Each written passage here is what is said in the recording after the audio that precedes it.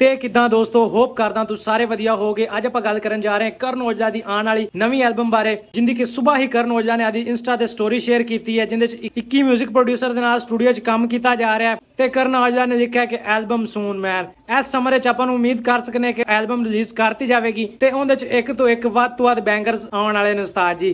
ਸ਼ੌਂਕ ਕੁੜੇ ਯਾਰ ਦੇ ਨਹੀਂ ਇੱਕ ਸ਼ੌਂਕ ਇਹ ਆ ਜੱਟ ਠੁਕਰੀ ਨਹੀਂ ਮਾਰਦੇ। ਬਾਕੀ ਦੂਜੇ ਨੰਬਰ ਤੇ ਗੱਲ ਕਰੀਏ ਸ਼ੁਭ ਦੀ ਤੇ ਸ਼ੁਭ ਨੇ ਉਸਤਾਦ ਜੀ ਦੇ ਹੇਟਰਸ ਨੂੰ ਰਿਪਲਾਈ ਕੀਤਾ ਹੈ ਇੰਸਟਾ ਤੇ ਸਟੋਰੀ ਲਾ ਕੇ ਜਿਹਦੇ ਚ ਬਾਲਰ ਗਾਣੇ ਦੀ ਕੁਝ ਲਾਈਨਸ ਇਹ ਲਿਖਦੇ ਹੋਏ ਸ਼ੇਅਰ ਕੀਤਾ ਗਿਆ ਹੈ। ਸਰਦੀ ਆ ਦੁਨੀਆ ਯਾਰਾਂ ਦੀ ਚਰਤੋਂ।